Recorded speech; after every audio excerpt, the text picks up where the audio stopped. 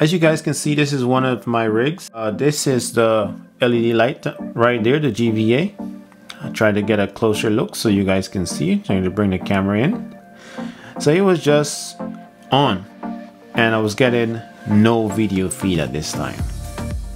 I have my computer set up on Chrome remote desktop so I went on there and I was able to see my screen and I reset the computer and as you guys can see in this video here that uh, after the computer started booting up, the GVA light just went away, just like that. And in this video you guys can see right here that I was able to get video feed again. And I was able to put my password in and everything looked normal. I just went ahead, pull up NiceHash, and start ashing like I usually do. Time to make money again.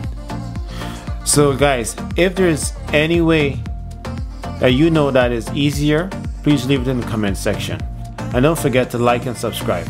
Thank you for watching my video. I'm out.